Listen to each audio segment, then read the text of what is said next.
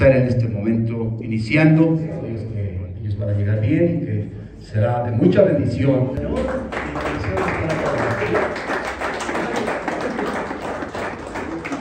Una unción de avivamiento, el fuego del Espíritu Santo, amén. Señales, milagros, prodigios. El Señor nos ha mandado a nuestro hermano David Chan. Muy buenos días. Buenos días. Nuestro Padre Celestial, nuestro Señor Espíritu Santo está con nosotros hoy en este lugar, porque estamos unidos en Cristo Jesús. Y yo quiero compartir lo que nosotros sabemos para eh, trabajar juntos en Cristo Jesús. Quiero compartir un tema, eh, unión por Espíritu Santo somos hijos de Dios, somos pastores, siervos de Dios, consiervos, que tenemos nuestra uh, congregación, hermanos. Muchos, un número gigante, pero el gobierno no escucha, lamentablemente no escucha. No pone algún su política, su proyecto para cristianismo, no, sino hablando o equilibrio o equidad y hablando eso da más favores a los otros. ¿Qué es eso? Iglesia, hijo de Dios, pastores, conciervos, no están unidos. Por eso el gobierno piensa que, ah, ellos tienen muchos números, pero controlable. Ellos, nosotros mandamos, ellos escuchan, hacen. Pero otros, ay, son bravos, nosotros no damos favor a ellos, ellos hacen contra nuestra, nuestro partido, contra mi vida política, hoy tengo problema, por eso habla equilibrio, habla equidad, pero da favor a ellos. Nuestro Señor decía, San Juan capítulo 3, verso 3 dice, Respondió Jesús y le dijo a Nicodemo, ¿eh? de cierto, de cierto te digo que el que no naciere de nuevo no puede ver el reino de Dios, no puede entrar al cielo. Por eso, Nicodemo pregunta, ¿no? Nicodemo le dijo, ¿cómo puede un hombre nacer siendo viejo?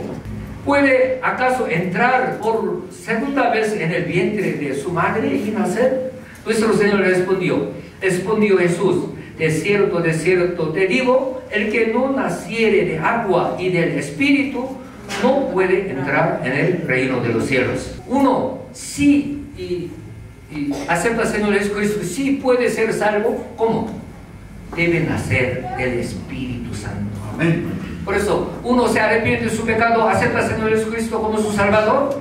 Si es verdadero, Dios envía Espíritu Santo al espíritu muerto que está en coma.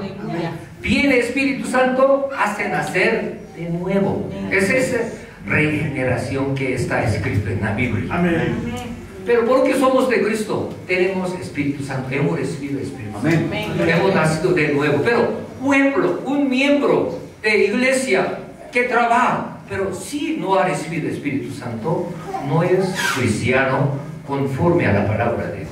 Podemos pensar, sin obra del Espíritu Santo, no podemos pensar nuestra iglesia evangélica o cristiana en este mundo. Por eso, debemos ser unidos, unidas, iglesias, pastores, ministros y cristianos en Cristo Jesús, pero por Espíritu Santo. ¿Por qué? Sin ayuda del Espíritu Santo, no podemos avanzar. Pero cada miembro, cada miembro, ministro, sí ha recibido la, el Espíritu Santo, sí ha recibido la llenura del Espíritu Santo, puede vencer este mundo. Si recibe el Espíritu Santo, más la llenura del Espíritu Santo, se convierte en hijo de Dios, naciendo de nuevo por vivificar el Espíritu muerto. Se cree en la palabra de Dios, la Biblia. Puede orar ardientemente. Puede recibir el don de Espíritu Santo. Va a amar a Dios Trinidad. quiere desechar el pecado de su corazón. Puede amarse a los hermanos. Puede servir al Señor en la iglesia con gozo. Puede tener la esperanza en el cielo. Amén. Puede procurar la santidad que es la voluntad de Dios. Si es un pastor o pastora o apóstol y con la llenura del Espíritu Santo puede manifestarse, manifestar demostración del Espíritu Santo y poder en el nombre de Señor Jesucristo. Visto eso es para ser unidas, para trabajar juntos, compartiendo o, eh, las cosas para nuestro ministerio. Muchas gracias. Un aplauso a nuestro Padre Celestial.